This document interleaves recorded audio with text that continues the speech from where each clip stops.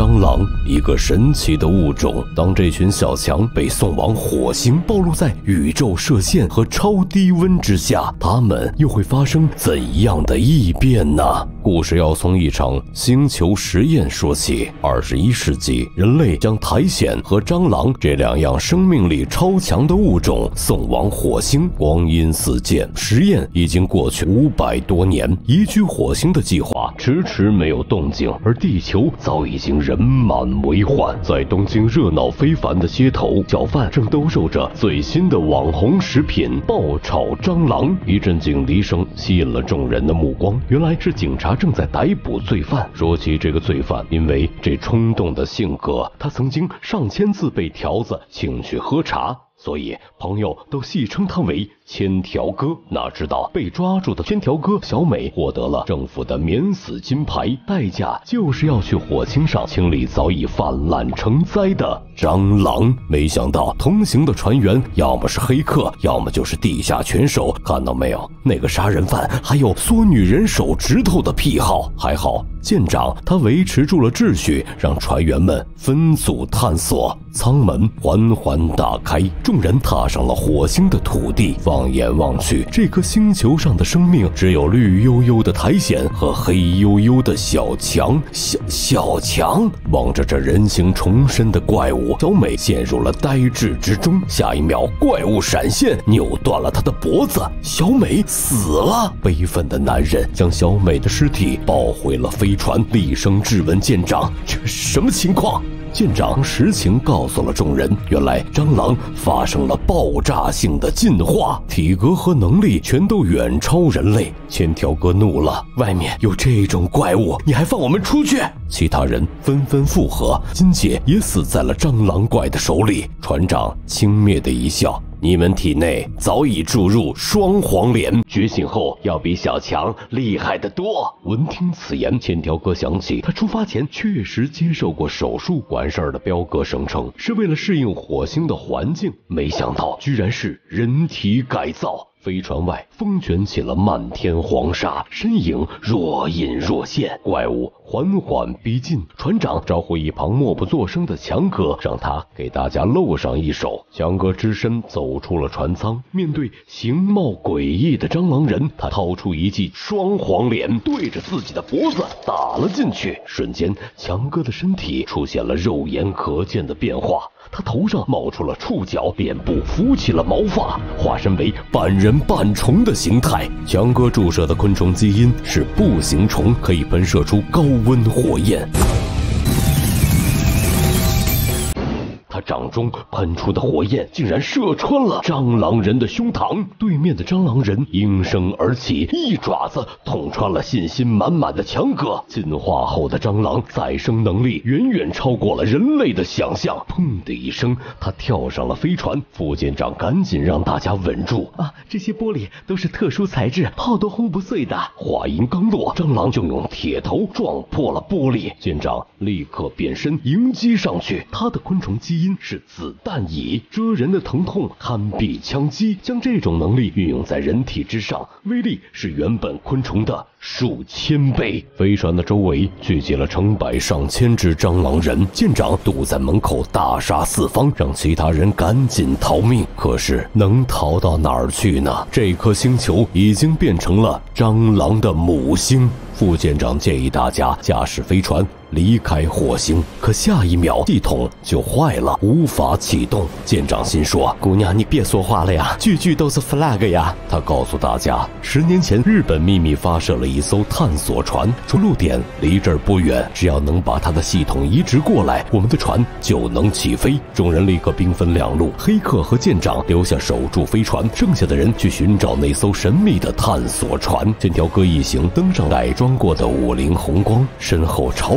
水般的蟑螂蜂拥而至，爱缩手的杀人犯狂笑着注射了双黄连。他的昆虫基因是隐翅虫，在敌人接近的时候会喷射气体逃跑，推进着五菱宏光在火星上奔驰。刚开出不远，地平线上居然卷起了黑色的海啸。众人定睛一看，这分明是黑压压的蟑螂巢，危机万分。队里的两个妹子双双变身甲壳虫护在他的身旁，以保。车辆前行的速度，车顺利冲出了蟑螂群，可护车的三人却掉了下去，被虫海所吞噬。几经艰险，千条哥终于是抵达了目的地。这是一座老旧的探索船。诡异的是，它的系统正在往地球上传资料。这时，船外响起了枪声。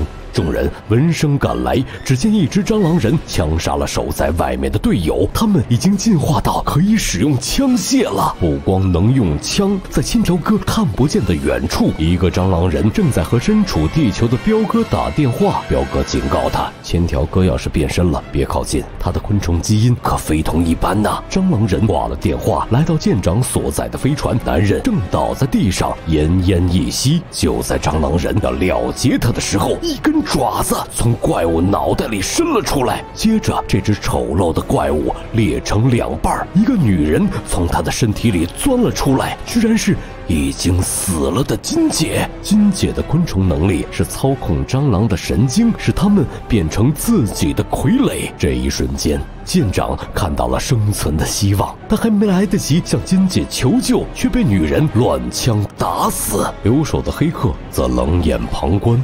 原来金姐和黑客阿明都是彪哥的手下，两人接受的秘密任务就是要带回蟑螂人的卵，为日本政府制造蟑螂军队提供研究。此时不知道自己已经成为弃子的千条哥，正一拳一个蟑螂怪打的是酣畅淋漓。他的昆虫基因是恶名已久的剧毒雀蜂，毒素抑制了蟑螂的自愈能力，让千条哥足以碾压这群火星异种。击退敌人后，他们正要返。回飞船，一只监视器飞到了众人的身旁。彪哥得意的声音从里面传出，向众人炫耀起自己即将完成的秘密计划。十年前，探索船里的人被火星异种团灭，但逃生艇却带着蟑螂人的头颅飞回了地球。日本政府由此获得了灵感，将人类和昆虫的 DNA 融合，造出了第一批生化战士，就是千条哥这些人。假如得到蟑螂卵，完善实验，制造出最强的昆虫人，那么日本将拥有匹敌核弹的活体兵器，征服地球不在话下。意识到自己将被抛弃在火星上，众人急忙赶回飞船，而飞船也并非是安全之地。金姐带回来的虫卵正在孵化，它里面不是成百上千的小蟑螂，而是两只额头相钻的成年异种，它们进化了。金姐的精神控制根本没用，进化的蟑螂一爪子捅穿了女人，他们一声令下，无数小强张开翅膀蜂拥而至，飞船。不堪重负，缓缓坠落。千条哥及时赶到，这是回家唯一的希望。而蟑螂人则要在火星上繁衍生息，为了不向地球暴露自己的存在，他们势必要杀死幸存的人类。战斗一触即发，阿伟首当其冲，化身沙漠飞蝗。这种虫子后肢极为发达，他跳起来一脚将对方的蟑螂人劈成两半，随后又给自己注射了一针双黄连。千条哥来不及阻止，要知道物极必反，双黄连注射的过多，再也无法恢复原状。杀红眼的阿伟哪顾得了这么多呀？千条哥见状，给自己。也来了一针双黄连，绝望之际，两人开始了无限注射模式。危机时刻，一只发光的巨型蝴蝶出现在了空中，它扇动着翅膀，洒下了点点星光。阿伟喊道：“这些都是磷粉，遇火会爆炸，快跑！他要自爆了！”千条哥认出这只美丽的生物是小美，她还没有死。男人跳上半空，想阻止女孩自爆。蟑螂首领抬枪朝二。人射击，火花引燃了漫天的磷粉，所有的蟑螂和小美一起葬身火海。阿伟拽着千条哥飞出了爆炸区，虽说幸存了下来，但阿伟完全变成了蝗虫。你一定要活着回到地球。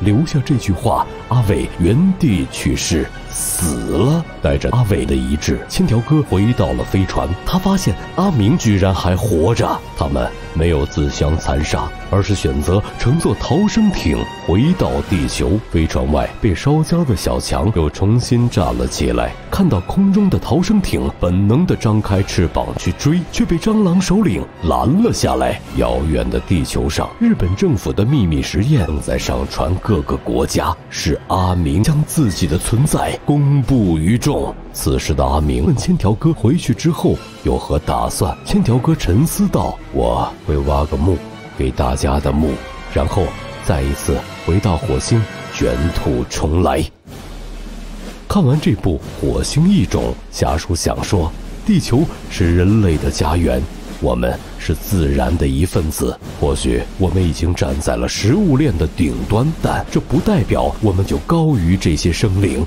拒绝野味儿也是对自然的尊重，这份尊重同样会回馈到人类的身上。今天小霞就不问大家要点赞、关注、转发了，只想让你们用这些时间勤洗手、戴口罩，保护好自己，保护好家人，这就是小霞最大的希望了。